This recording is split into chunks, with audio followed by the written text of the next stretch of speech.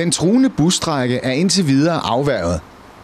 Tillidsmand Ole Jensen og talsmand Lars Fugte har hele dagen siddet i forhandlinger. Og her tirsdag eftermiddag er der nået frem til et forlig. Lars Fugte udtaler, at dette forlig nu går ud til medlemmerne i løbet af det næste driftsdøgn til godkendelse. Så busserne kører, om ikke andet i hvert fald det næste døgn.